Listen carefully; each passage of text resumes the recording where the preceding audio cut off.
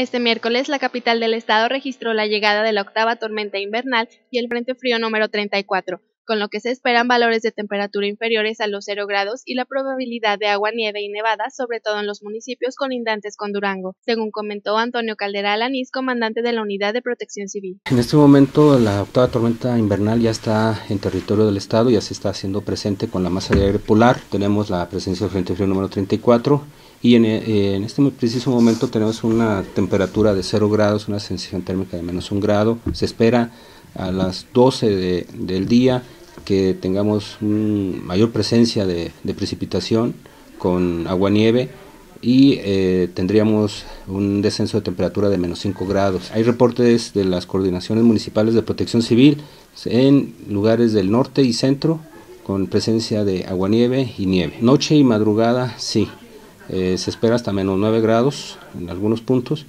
y estamos monitoreando qué municipios ya tienen más presencia de, capa de nieve. La principal recomendación ahorita estamos de que eh, maneje con precaución, hay que abrigar muy bien a los menores de 5 años y a los adultos mayores. Valoren si van a la, escuela, estamos pues, ya teniendo, eh, hablando pues comunicación, nuestro director con, con el secretario de Educación y aparte también con el señor gobernador si suspenden clases el día de hoy y mañana, pues no calentarse con anafres o braseros y evitar enfriamientos. En estos dos días que va a ser intenso lo de la temporada invernal, eh, pues tomen sus precauciones. Con imágenes de Diego González para México Explorer, Carla Padilla.